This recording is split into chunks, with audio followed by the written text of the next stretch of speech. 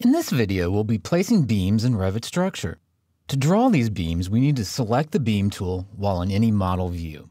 In this case, we'll come into our second floor view and then start to zoom in just a little bit so that we can see where each of our column locations are at. Next, we're going to need to come up here underneath the Structure tab and then select on Beam.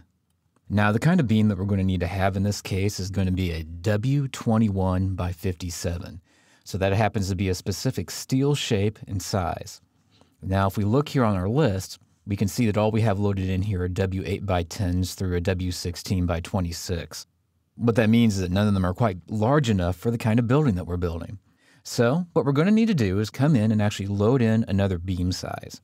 So up here, there's this option for load family. Now go ahead and select on load family. Next, this is going to be a structural beam, so we need to look for the word structural. Now there's no category here that just says beams, but what this is is going to be structural framing. So go into there. There's an option there for steel. Then down toward the very bottom, there's a W wide flange, and that's what we want. So go ahead and highlight on that and click on Open. Once you do that, it's going to bring up a list of all the different W shapes that we could load into our project. In this case, once again, we want to do a W21 by 57. So we're just going to find that on the list by scrolling down or clicking. And here we have our W21 by 57. Now, if you select on it in order to be able to highlight that row, you can then click on OK, and that will load that into your project. Now, if you get this message that says family already exists, that's partially true. What it really means is that there's already a W family loaded into the project. Do you want to add that extra size to it? And in this case, yes, you do. So just say override the existing version, and it'll go ahead and add that extra size into your project. Now, if we look here on the list, we're going to find a W21 by 57, the one we just loaded in. So go ahead and select on that. Now, if you want to be able to draw these in, well, we can do it individually first, and that's pretty easy just by zooming in, picking a point, in this case it's intersection of A and 1, and then picking another point over here. And you'll notice that by default it's coming in as just a single line. If we do this again, it'll show up as just a single line again. Now, this is the way it's supposed to display in this kind of view. Now, when I say that, it really means that this is the way it's supposed to display in this detail level. In this case, we have a detail level being coarse. But if we change this to be a detail level being fine, we can then see it having each little layer of material, each thickness showing up here. So if we decide to draw another one, this time we're going to see all the lines and the appropriate thickness, just like if we were looking at it from above. But one thing that we could do is we could continue on drawing in between each of these, sort of playing connect the dots if we wanted to. But there is a faster way to go about doing this. And the faster way is to move up here to where it has on grids and select on grids. Next, move your mouse over here, sort of between the 5 and the 6, and then click and hold your mouse button down. And then just create a window going around all these different things. Now what this is going to do is it's going to select the structural grid and it's going to place this kind of beam along the structural grid.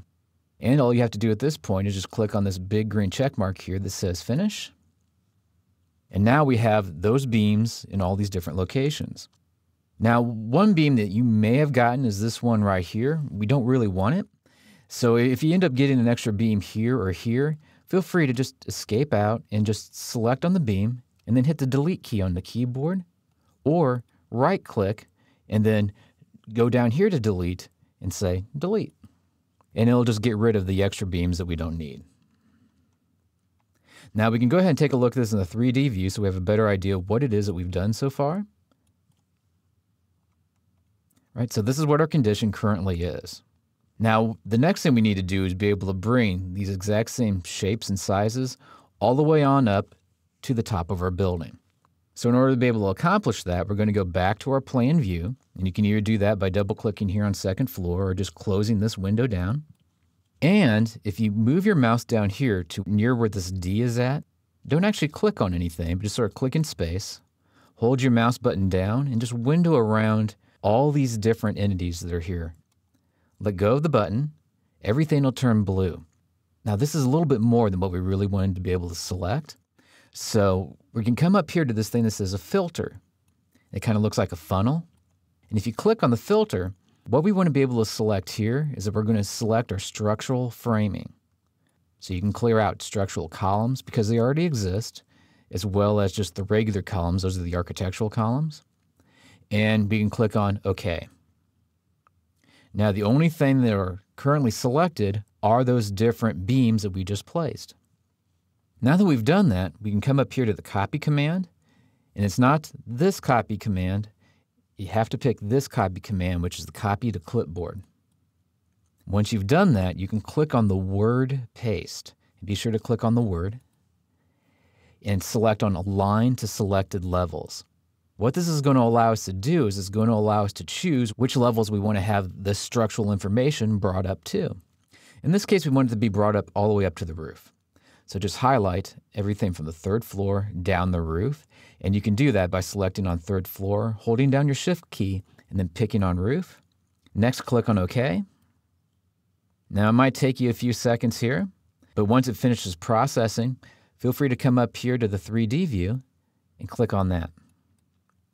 And what you'll see is that it's copied that up level by level all the way up to the roof level. So in conclusion, to place your perimeter beams, you just need to leverage the beam tool up here on the ribbon and select the grids or points where you want to place your beams.